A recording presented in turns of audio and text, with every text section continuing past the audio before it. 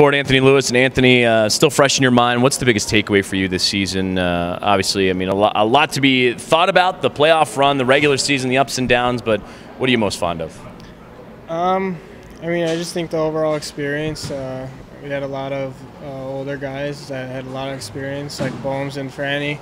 So uh, that was pretty special for us, especially being a first year guy, being around them. I mean, I've played 400, 500 NHL games. They've had a career for themselves. So just being around them, I think that's the biggest thing for me. I, I learned a lot from from those guys, uh, and like I said, I'm lucky to be a part of it. Uh, not many guys are around around guys like that their first year or two. So um, that's one thing, and then just uh, getting a feel for the pro pro aspect of the game. I mean, it's, it's way different than college, way different than college, but uh, a longer season obviously. Um, I mean, just overall, I think it was it was a good learning experience for me. Uh, definitely could grow off the year. So. What impact did a gentleman like a Bouma or Franson do? Was it on the ice, off the ice, both? But how did they help you, uh, I guess, push yourself to another level, especially as you said in a formidable first year?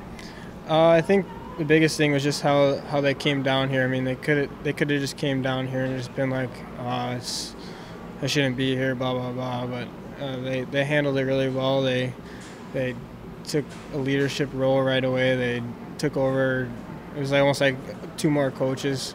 So, um, I mean, even Marty too. Um, but, I mean, just being around them, seeing how, how they handle their game, how professional they are on and off the ice, and um, yeah, like I said, it's just special to be around them, just especially first year. So when you evaluate your season and the season that you had, obviously you came up with some big plays, big goals to help this offense out for the Rockford IceHogs. But after your meetings with the coaches and, and, evaluating it yourself here initially, I mean, what are your thoughts? What did you like that you did, and then what are you looking to improve upon?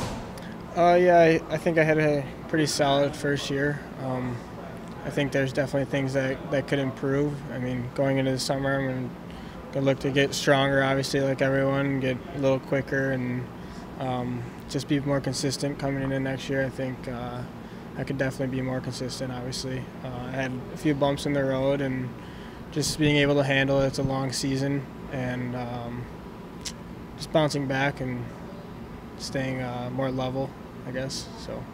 And then you're a Chicagoland native. You got a lot of family here. I mean, are you going to be getting out of town, or I mean, this is pretty much home for you. So, what's your plans here for the summer? Uh, I don't really know yet. Um, probably go go on vacation or something for sure. Um, got my cousin's bachelor party that I'll be going to, so that I probably won't even be able to make the wedding because it's in January next year. So, oh. but uh, it'll be good. I mean, take a few weeks off here and then it's back to work. So.